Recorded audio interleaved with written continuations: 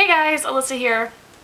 So I just started recording this video and then I got a super exciting text that my cousin, who I love, her water just broke. So I just got overwhelmed and excited and now need to start re-recording. So without further ado, here is my basal body temping video, which I know a couple of you were excited about and I'm really excited about because I'm a big dork about it. So here we go.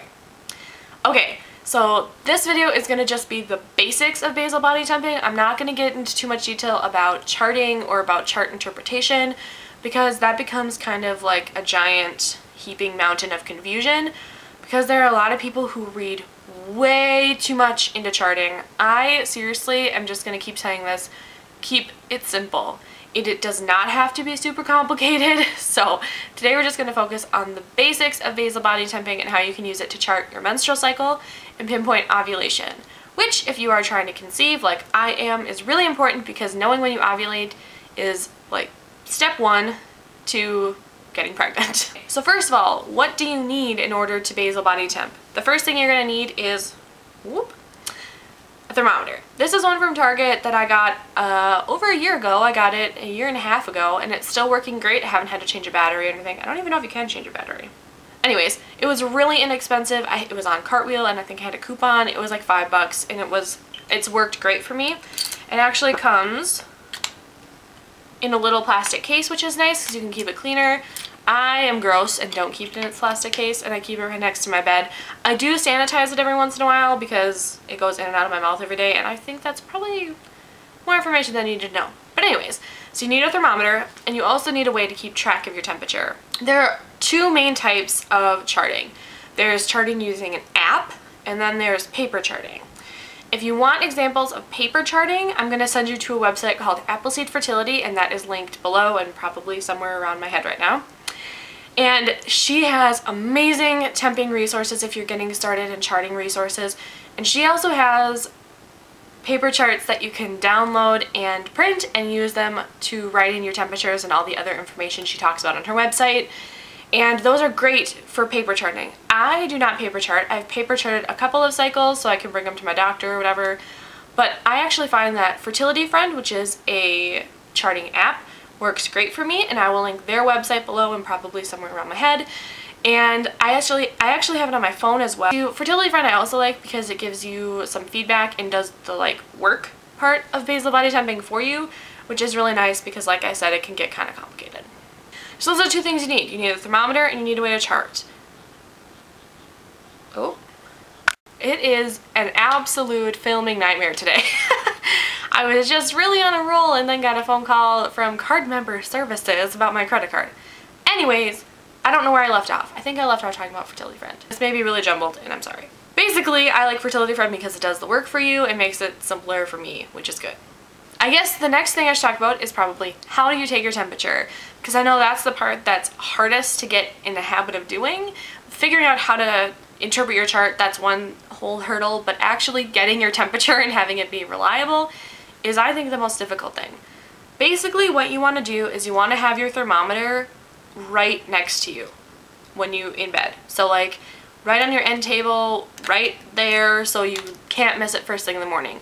Because you want to take your temperature first thing when you wake up after a good amount of sleep, so like three to five hours, with before you do anything else. You can't eat or talk or sit up or pee or anything before.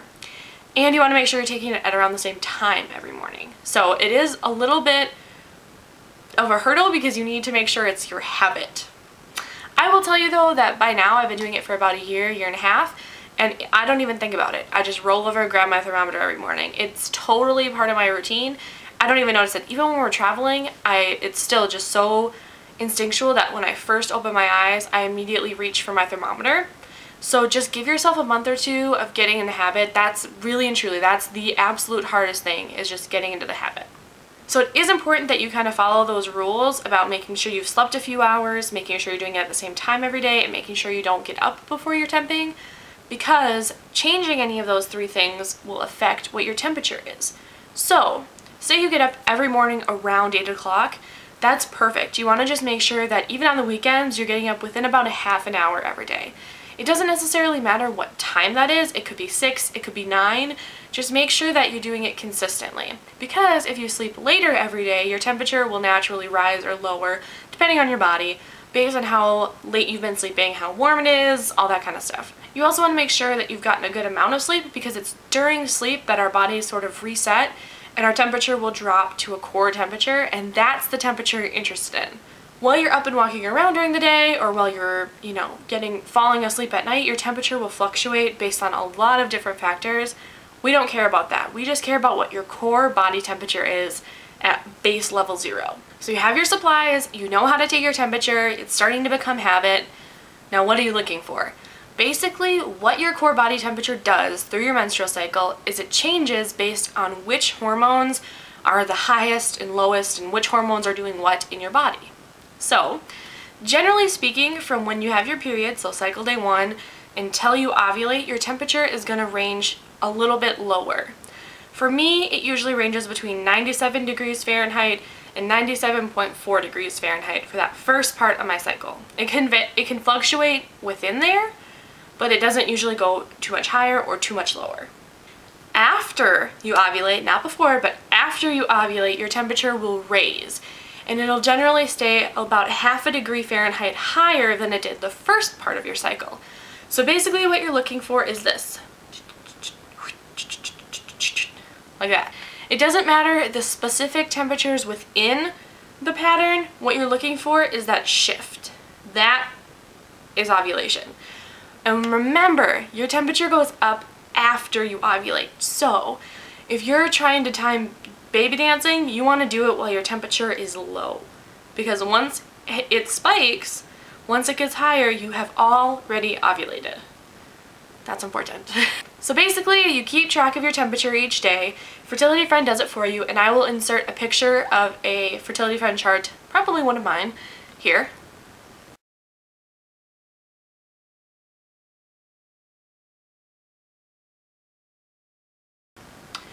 On that chart, you should have been able to see a clear pattern where the temperatures were lower, there was ovulation, and then they were higher. That's all you're looking for. Don't freak out and just get hung up on individual days, and remember that your temperature can fluctuate based on other stuff.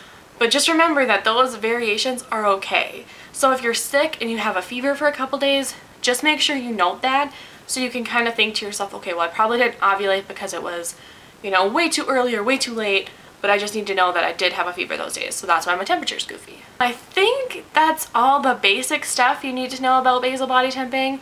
You need a thermometer, you need to remember how, or you need to chart, you need to take your temperature consistently, you need to make sure your thermometer is somewhere where you're gonna use it, and you need to look for that big overall pattern and not get hung up on individual days. I think that that's all. If you have any other questions, specifics about basal body temping, at least getting started, please let me know and I will try to make a video with a more detailed chart, chart interpretation soon so you guys can see what it looks like once you kind of have a chart, how you can figure out all the other complicated stuff. Alright, I love you guys and oh, I'm going to try this today. If you liked this video, give it a thumbs up and like it so that I know. And then, um, what else am I supposed to say on these little things? Oh, if you want to see when I upload videos, which I do randomly, you should subscribe, and I think that's everything. Okay, that felt really weird. I don't know how people say that every single day. Anyways, I will talk to you guys later. Baby dust. Bye!